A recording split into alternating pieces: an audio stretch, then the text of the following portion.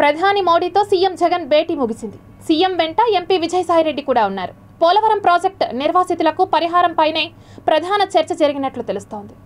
రాత్రి జన్పద్ ఒకటిలోని నివాసంలో బస చేసిన సీఎం ఉదయం పది గంటల ముప్పై నిమిషాలకు ప్రధానితో సమావేశమయ్యారు.